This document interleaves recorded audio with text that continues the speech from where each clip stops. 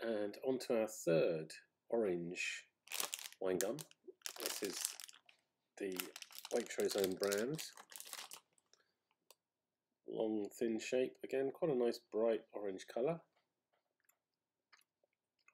Mm. Very, very soft.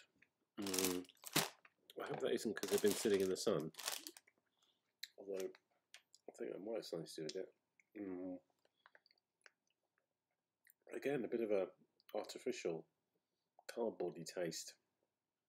I think we had that with the Waitrose greens as well. Mm.